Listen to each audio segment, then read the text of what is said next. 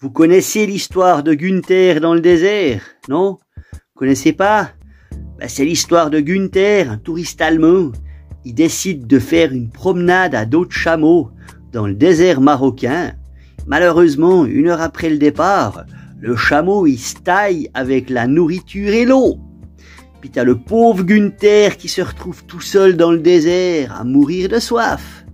Commence à marcher, à marcher, à marcher.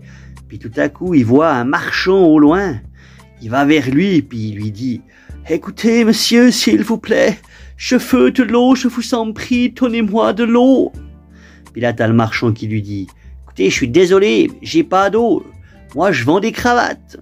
Ah, meine Gott. Bon, il continue de marcher. Euh, euh, trois quarts d'heure après, il croise un deuxième marchand, puis il lui dit, Monsieur, s'il vous plaît, je dois absolument avoir de l'eau.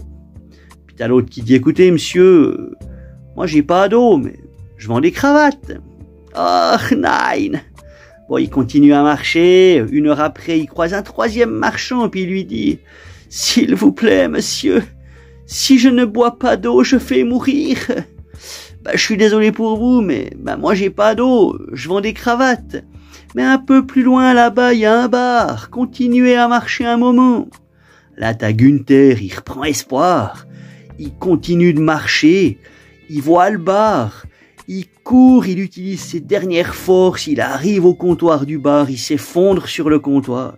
Et puis là, il dit, ah, s'il vous plaît, je vous en prie, servez-moi un verre d'eau. Puis là, t'as le barman qui le regarde puis qui lui dit, Écoutez, monsieur, je suis désolé pour vous, mais ici, on sert pas les gens qui n'ont pas de cravate.